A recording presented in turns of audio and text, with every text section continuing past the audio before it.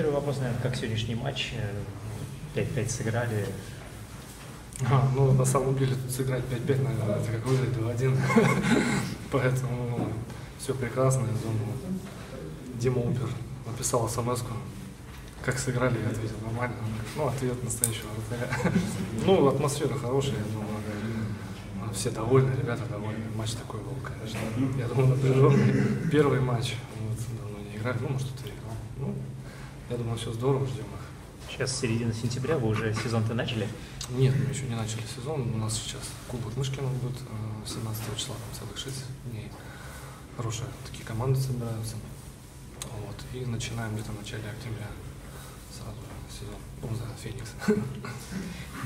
Э, как сегодня вообще много новых ребят было в раздевалке? Кого давно не видели? Ну, да, команда как бы обновилась.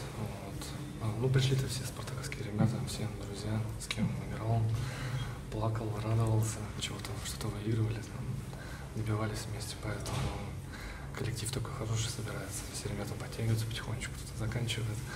Вот, я думаю, весело будет. Ну, в ваши ворот сегодня было 9 штрафных бросков. Я думаю, что это, наверное, рекорд в вашей карьере. Нет, рекорд был на самом деле 17 булитов.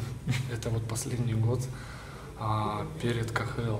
Я тогда играл за Дизель Пенза. Мы, по-моему, сыграли с Химиком из Крестьянском, если я не ошибаюсь. Тогда мы, нам, мы пробили по 17 булитов туда и обратно, 17 или 18.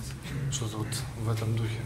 Ну, это было круто. То есть не привыкать, да? Нет. Ну, а, по-моему, последняя игра, которую мы здесь играли, тоже было около 12, по-моему. Может быть. Ну, я могу ошибаться. Но... Жень, ну не могу вас не спросить, э, как старт Спартака оцениваете вообще? Тоже в команде много новых людей, там классные ну, мне кажется, в этом году команда очень сильная. И хорошая перспектива. У команды я уже был на нескольких матчах, но, наверное, пока Спартак еще не столкнулся с таким соперником.